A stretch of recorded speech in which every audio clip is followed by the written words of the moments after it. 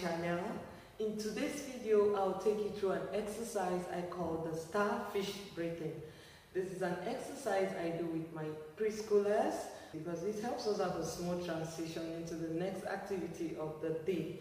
And I discovered that this activity helps to bring them into the moment and help them take ownership of their feelings. Yeah, and also it helps them build their fine motor skills, their tracing skills, because it's all about moving the finger to the natural flow of their breath. So for our starfish breathing, we first of all bring our voice low and tell the children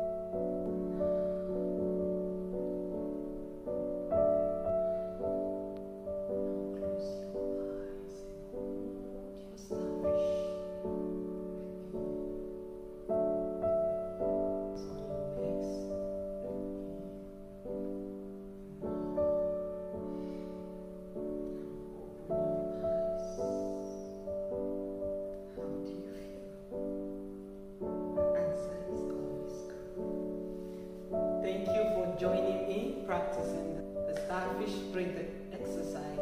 If you find this video helpful, please like, share, and subscribe. And recommend this for all grades and individual because it helps us stay calm and also take charge of our feelings. Thank you for watching. Please like, share, and